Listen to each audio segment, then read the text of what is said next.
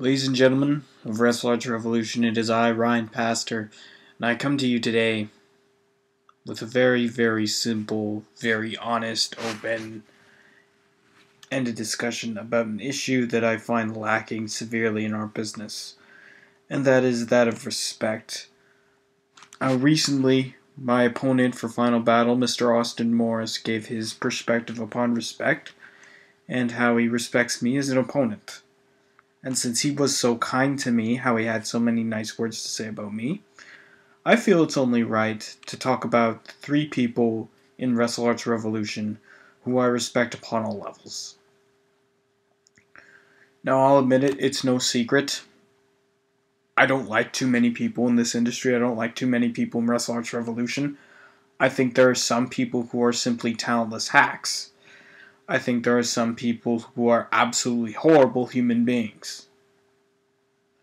But these three individuals, well, quite frankly, they've earned my respect over the past year and a bit. So I figure it's time to get that out in the open right now. The first person I respect, plain and simple, it's Stephen the Midget. And if you want a reason as to why I respect the man so much, then quite frankly, either you haven't been watching Wrestle Revolution, or you don't know what a true brotherhood is.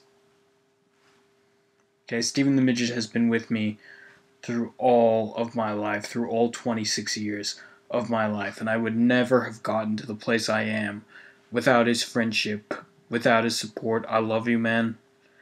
Uh, Stephen was my friend during a time in which many people refused to touch me over this past little while, and I thank him greatly for that.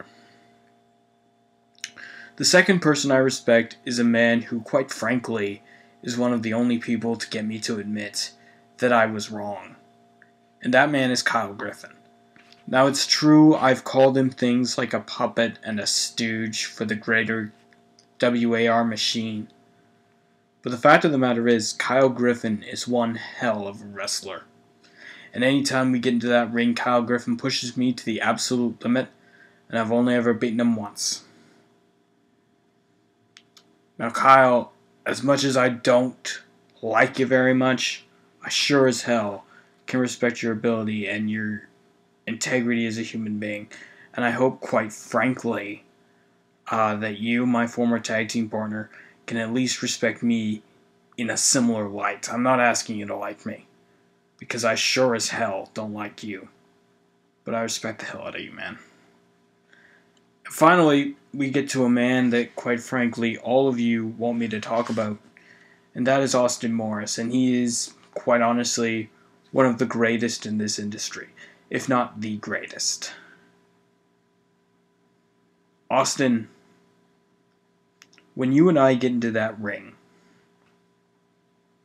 there is a chemistry, there is an electricity unlike any other. When we get into that ring, whether it be at American Psychos, whether it be at Uprising, there's only few rivalries that can top what we've accomplished. Austin McMahon, Rock Austin, Bret Hart, Shawn Michaels, you know, Hulk Hogan, Andre the Giant, Randy Savage, Ric Flair. When you and I get into that ring, there is an electricity that no one man, woman, or child can possibly deny. But at Final Battle this Sunday, I'm going to do exactly what you asked me to do. Because, quite frankly, you're right when you say that it's one to one. We're even, Steven. Many people, including myself and including you, believe that I pinned your ass one, two, three at American Psychos, and I got screwed out of it. Likewise, I can admit in my home capital of Ottawa, Ontario, Canada, you pinned my ass. One, two, three. You beat me, Austin. But as you said, Final Battle is just that. It implies a finality to one of the greatest rivalries of all time. And I, both on a personal and professional level, could not sit idly by and give you any less than my best.